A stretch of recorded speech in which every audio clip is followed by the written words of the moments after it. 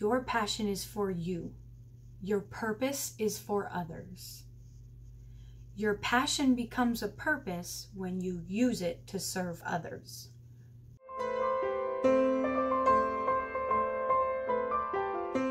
Hey guys, welcome back to my channel. So, this book is a long one. It is called Think Like a Monk by Jay Shetty.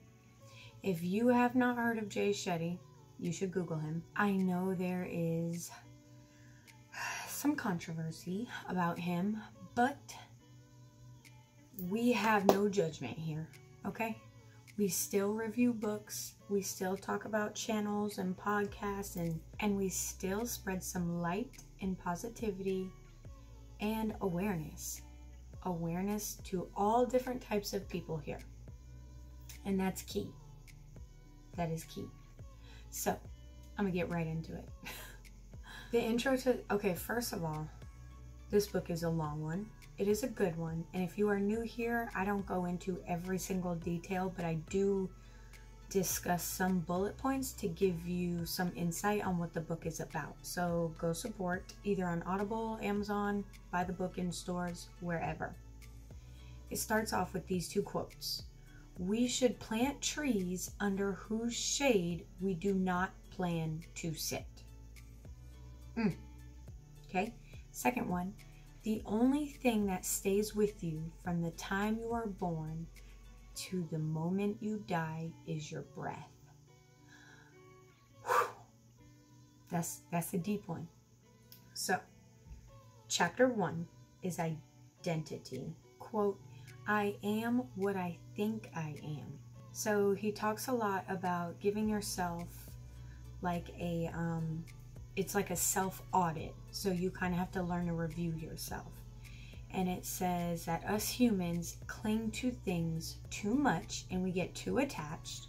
And also look at the values behind your choices. So learn to recognize and ask yourself about the choices you make. Like, really, you know, evaluate yourself in some sort of way. Chapter 2 is titled Negativity. And also, side note, don't get too hung up on you hearing the fact that a book might say, learn to evaluate yourself, learn to look at your flaws. That's not a negative thing to do. That is a healthy thing to do. As long as you don't focus on your negative flaws or your not so great qualities all the time, then it's a healthy thing to do to be able to evaluate yourself and be honest with yourself.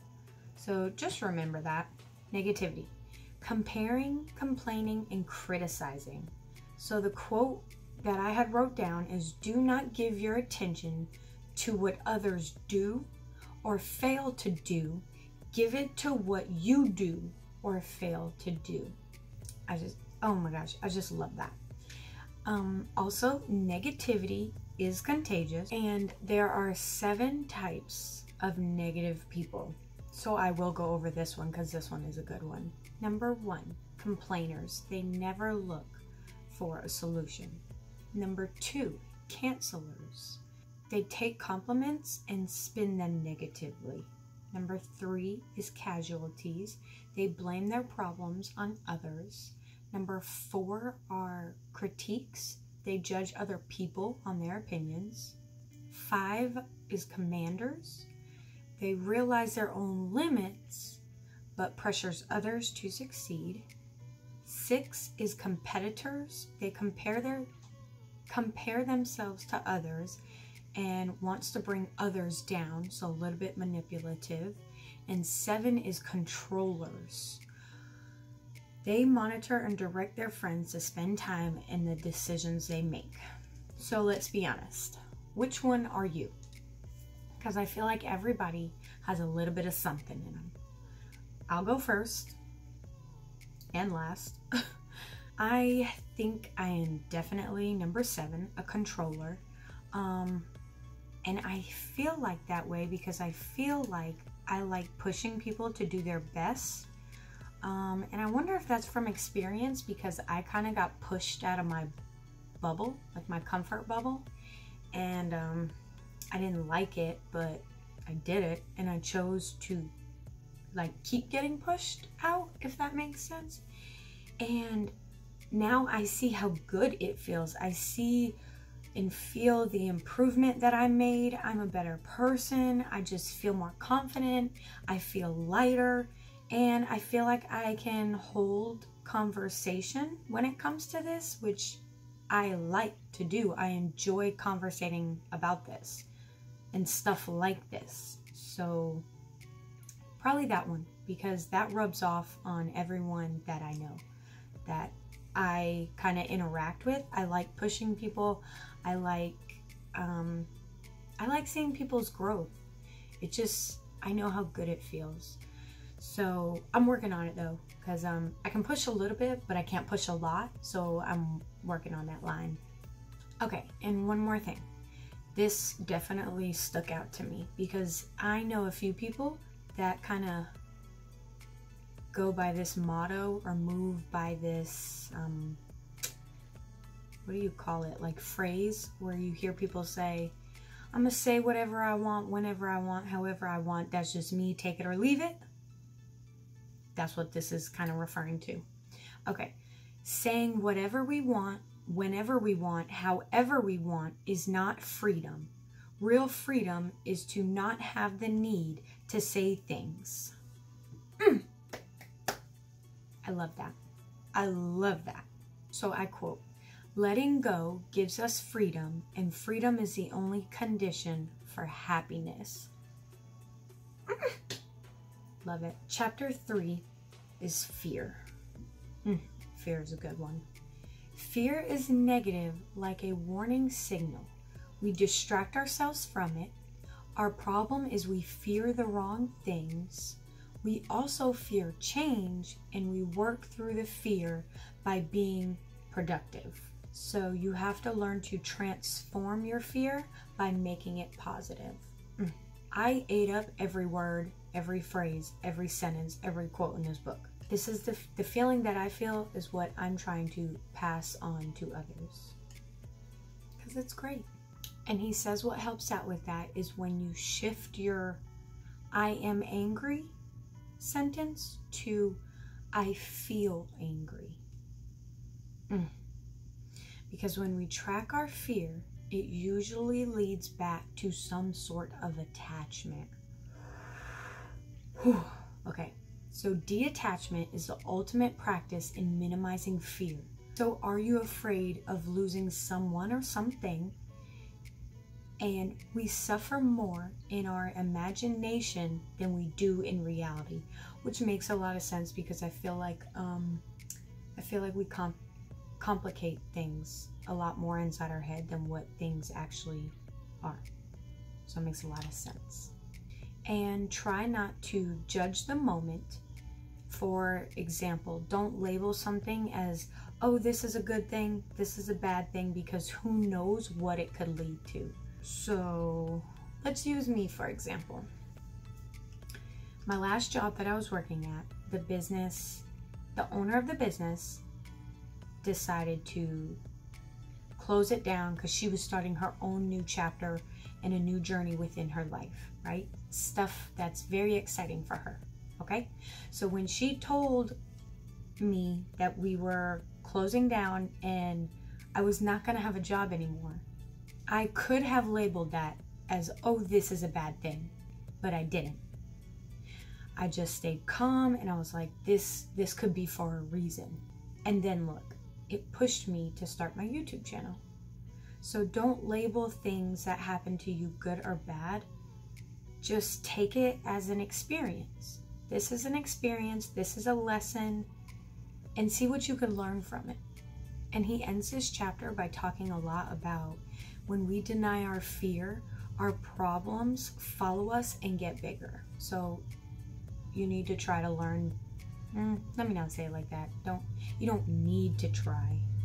And he ends it with saying, you know, when the fear of staying the same outweighs the fear of change, that's when we learn to make moves and actually change things in our life or in our lives, in your life, in my life, whomever. And you really need to dive into those fears and ask yourself, like, what's the issue?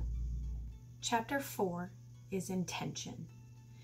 There are four motivations in different ways that push people. One is fear, two is desire, three is duty, and four is love. And that we make a lot of decisions based on one of these four motivators. And fear, it's not sustainable.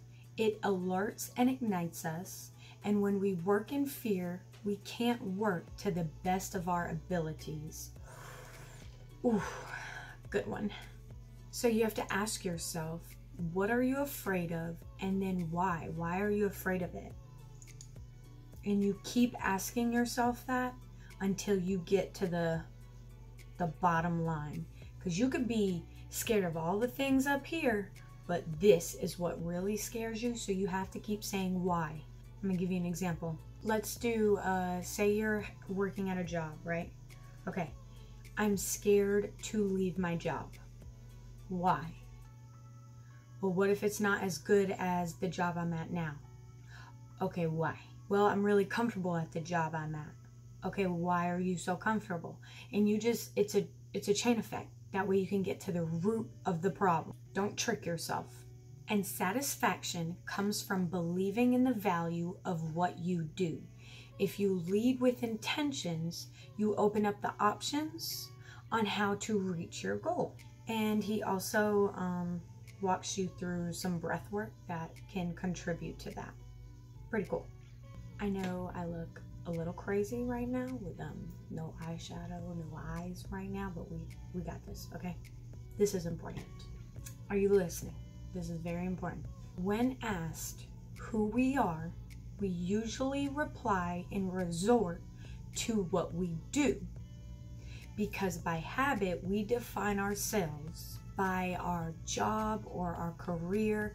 And when we lose that job or we lose that career, we feel lost and it's like we don't know who we are anymore. Mm, like when you see a football player or a basketball player and that's how they define themselves because yes they have a lot of passion for it and they love playing whatever sport they're in but yet when it's time to retire like that's all they knew. That's all they define themselves as. And so when they don't have that sport that career in that it's like they get a little lost. Have you ever seen that? I know you've seen that. That was the first example that came to my mind so it's always important to learn who you are and what you like to do. And don't attach it to your job or your career or your desires basically. That is a piece of gold gold. Chapter 5 is purpose. Who you are is not what you say it's how you behave. Mm, love this. So he says from Albert Maharabian. Maharabian? Maharabian? You know, I was just right here. It's a communication rule.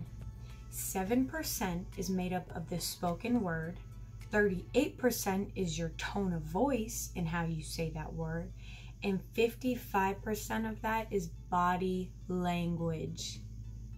So important. So important.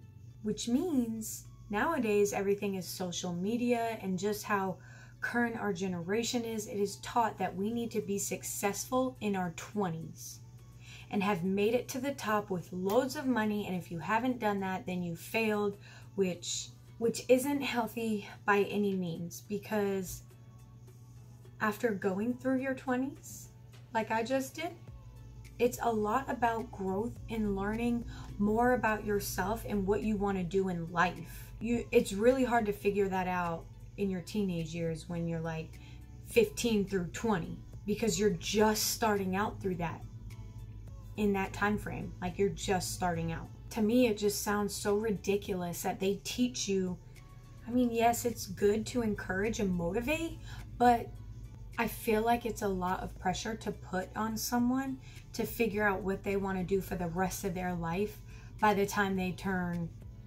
17 and they're a senior in high school. Like, that's a lot of pressure. Something also that stood out to me in this chapter is that he talks about how our society is also set up for strengthening our weaknesses rather than working and improving our strengths. I'm to say it again. Our society is set up for strengthening our weaknesses rather than working and improving on our strengths. I love that. And his example was when you're in school and you have three A's and one D, usually parents will tend to focus, and the kids too, we tend to focus on that one D and and put too much attention on it instead of acknowledging the three A's and learning to build up our strengths. Like if you're getting A's in that topic, it's a strength of yours. You're good at it. So I thought that was interesting because I definitely was one of those kids. So we can't confuse inexperience with weakness. That's very important. Inexperience doesn't mean you're weak at it. So keep that in mind. And then he goes into explaining some examples, which again, I will leave it up to you to go read the book. And after that, he discusses the four quadrants of potential, which I will review this one. There are four quadrants. First, top left, skill, no passion. Next to that, on the right, is skill plus passion. On the bottom left is no skill, no passion. And on the right side, bottom, no skill, but it's your passion. And I thought that was interesting. So if maybe you get stuck, maybe you can map that out and write certain things within those bubbles to kind of get a better understanding of maybe what you want to do in life or just to be more self aware. I think that's pretty cool. And learn to find meaning now, and it will serve you all of your life, which I feel like is kind of a tidbit of information and solution to how to live in the moment. So if you learn to find the meaning on what you're going through presently, it'll keep you in the present and learn to live more in the moment. And then after that, it opens up discussion with him talking a lot about your Dharma.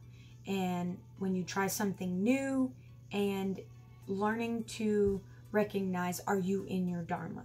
And there are five bullet points to know if you're in your Dharma.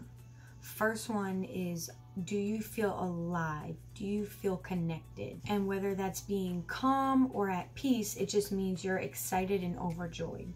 Number two is the flow. You feel like you are truly aligned and you lose track of time. Number three is comfort. You won't feel alone or out of place. Number four is consistency. It gets better the more you do it and gets repetitive. Number five, positivity slash growth. When we are aware of our own strengths, we are confident and we feel secure in it. Mm. My YouTube channel. I love it. I love it. I love it. And he ends this chapter saying and talking about your passion is for you your purpose is for others. Your passion becomes a purpose when you use it to serve others. I'm going to say it again. Your passion is for you. Your purpose is for others. Your passion becomes your purpose when you use it to serve others. If you don't take away anything else from this book, take away this part if you're struggling, if you're stuck, if you feel like you don't know what you want to do in life, draw up the four quadrants and write this phrase above it. I bet you it'll help. You'll figure out what you want to do. You I know you will. Chapter 6 is routine. So location has energy, time has memory. and that's from the Dalai Lama. Quote The fact that it was hard was an important part of the journey. Mm. So try to start your day off with peaceful sounds or even nature sounds instead of instead of an annoying alarm clock sound or if you have kids, if it's possible to wake up before them to a peaceful sound and get up on your own. That way, you're waking up at a relaxing state instead of a jarring, annoying sound that automatically puts you in anxious mode. That's not that's not cool. and how nowadays we talk about like within society, we talk about how little sleep we have or what little sleep we have gotten like it's a badge of honor and that I've only gotten one hour of sleep. So, like a badge of honor that would describe our work ethic. Like, we work the hardest because we've only gotten one hour of sleep type stuff. No, that's not good. If you want to work your hardest, try to get six to eight hours of sleep. Try. So then he goes into the discussion of time. 75% of HGH is released when we sleep. The highest burst of it is from 10 p.m. to 12 a.m. HGH is responsible for growth, cell repair, and metabolism. I'm going to repeat it again. HGH is responsible for growth, cell repair, and metabolism. Before falling asleep, think positively because you don't want to program yourself to end up thinking negative thoughts before bed, therefore, waking up with that bad energy and that negativity. You don't want that. So try waking up in the morning saying, I am grateful for today and excited for my day. Believe it and feel it with all of your life and do familiar things with awareness. So, just like the Dalai Lama said, and what I quoted in the beginning of this chapter, locations have energies and time has memories. So, create spaces that bring you the energy that match your intentions and be aware about where you thrive and excel at. And time has memories. So if you do something at the same time every day, it becomes easy and more natural. And I'm going to quote Jay Shetty. He says, If something is important, it deserves to be experienced deeply, and everything is important. Mm, like, when's the last time you really just took a moment in for what the moment was. Like this morning, I got to hold my babies before I got out the bed and cuddle and snuggle them. And I just thanked God and the universe for that moment. I kissed them on their forehead, played in their hair, and rubbed their back and told them I love them. When you experience things within the moment, your life can only become rich. I love that. Chapter 7 The Mind.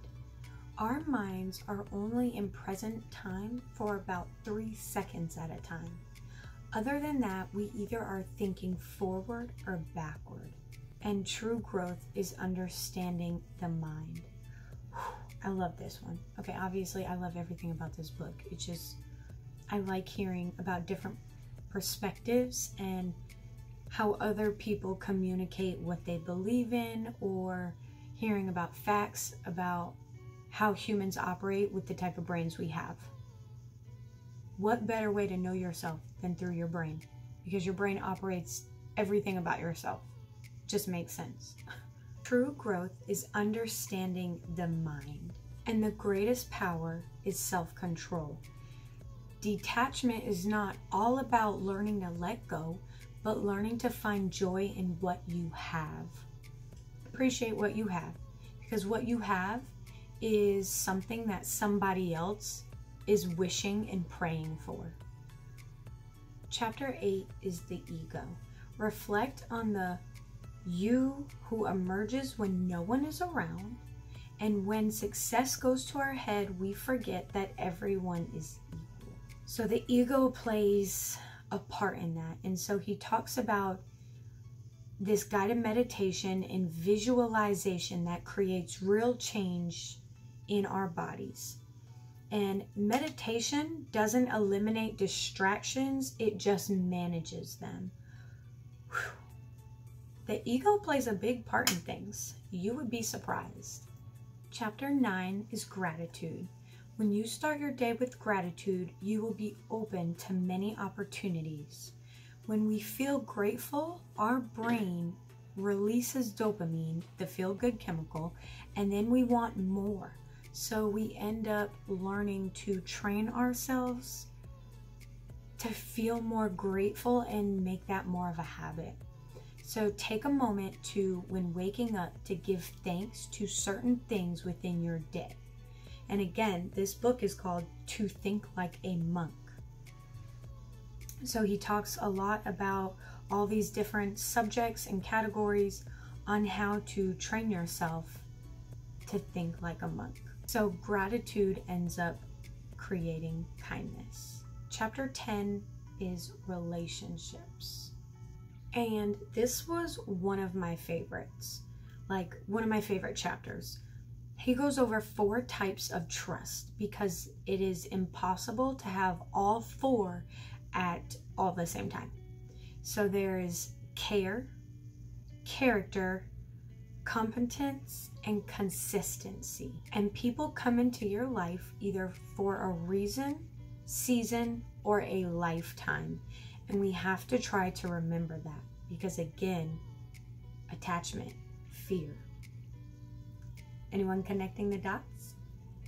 I love this book. It's so good. And not all relationships are the same. So the role you play in someone's life won't always match the role they play in your life. It's important to remember that. Trust is about intentions, not abilities. I love that one. And then there are four types of trust within the relationship, which is the neutral trust, contractual trust, mutual trust, and pure trust. Mm.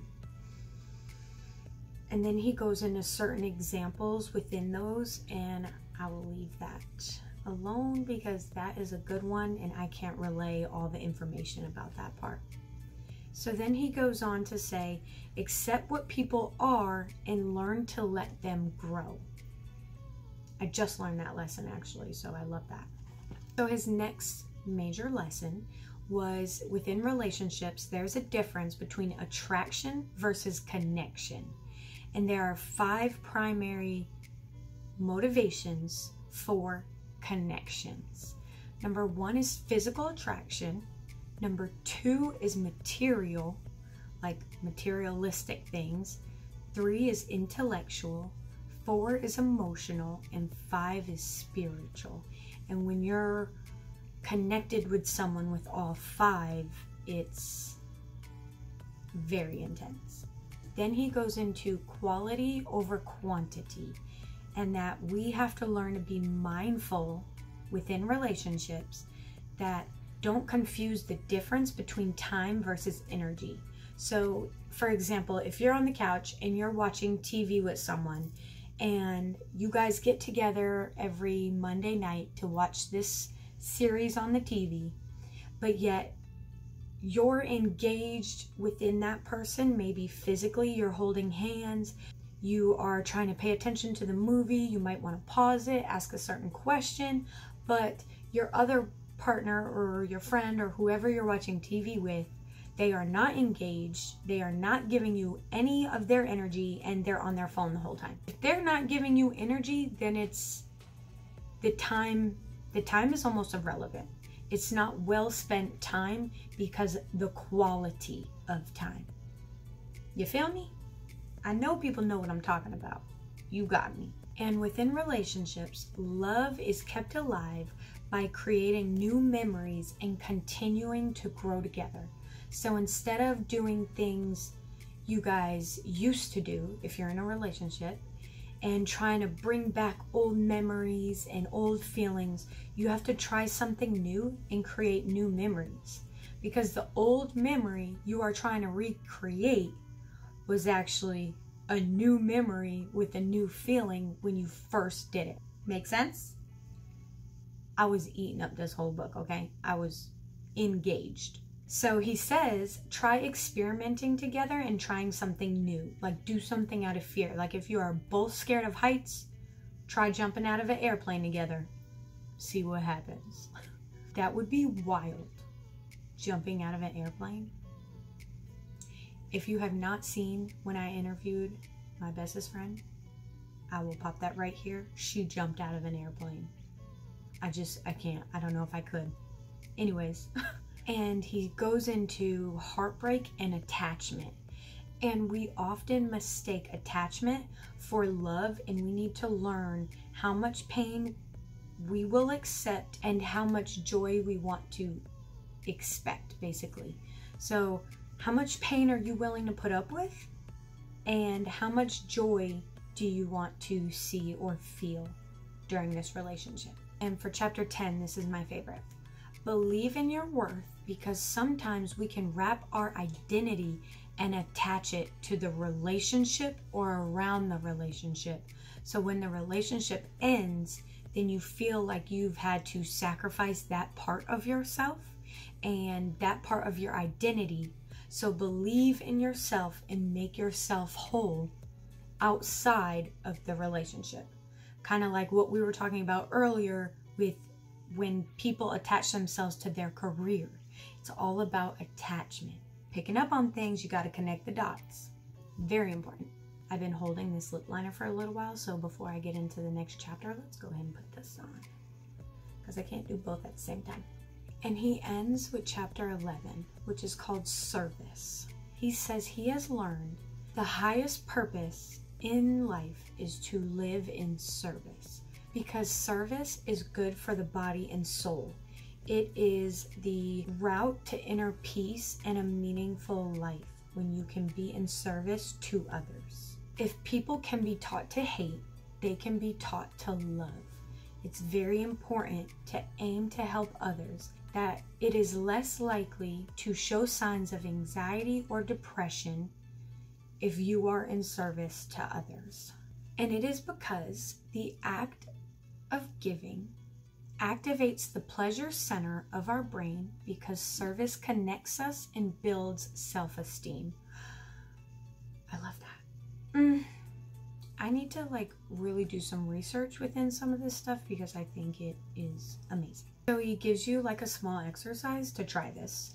Think about four to six people that you would drop everything for and have you showed them that you care and do the same thing and think about a different group of people that would be strangers. And think about how you would love to help that group of 20 like what would you do for them you know? Don't wait on anything because sometimes he like he goes into saying well i'm struggling with this so i can't help myself until i help others. But in all reality you can find something to help somebody with. It can be the smallest thing, but you can. You can do it. And so find out the best way to serve for you. Is it helping your friends going to cook for the elderly? Or is it helping people pick up trash within an, a certain neighborhood? Like what works for you? But don't do it to create a debt where you think you need to receive something because you've been giving something. Does that make sense? Just because you're helping out and picking up the trash doesn't mean you need to receive something back for that. That's the reality. And most challenges that we face are mental issues. And when we're in service to others, they will most likely need food, water, clothing, or some kind of support. And we can help their physical needs with our mental so it's an equal exchange and everybody is contributing, you know? There are infinite ways to serve because when we bear witness to other people's pain, we feel motivated to take action. So choose where to serve based on your compassion. Where does your compassion lie? Is it with the elderly? Is it with children? So serve the pain you know best. And he ends it with a question Who is wealthier, the one with money or the one who serves? Mm, I love that because if you watched that interview with my friend Mel, we got into like a side note debate almost like a debate about who is wealthy. Is it people that have money or is it people that live a fulfilling life who feel rich within love and friendship and service? Mm, I love it. Whew. Okay, so what do you think about this book? Okay, so did you like it? Do you think you would read this book? It's a long book. I have this book on Audible and it was a 10 hour read. Like it's a long book. So let me know if you read the book and let me know what you think about it. I it it's a good it's a long read, but it's a good read. okay, but I think that's it. That wraps up this session. And don't forget to come back next week. I am loving these videos and I am loving spending time doing what I'm doing. Whew. Okay, I will see you next week. And don't forget to like, comment, share, and subscribe. Bye, guys.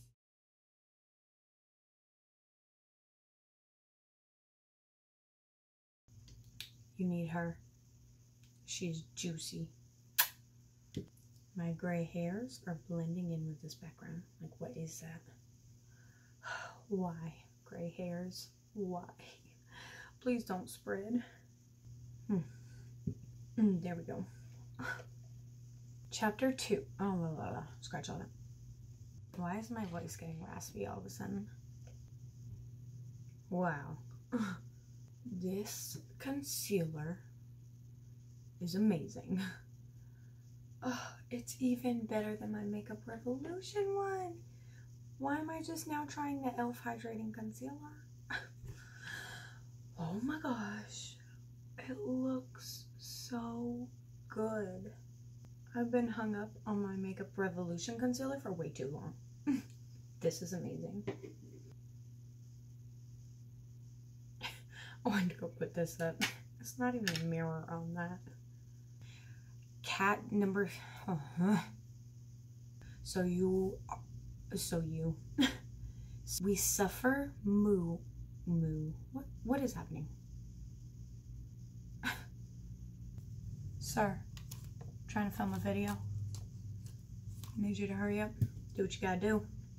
We're gonna try something new today it's not subs why does this eye look like it's not opening all the way? Do you see that? What is happening here?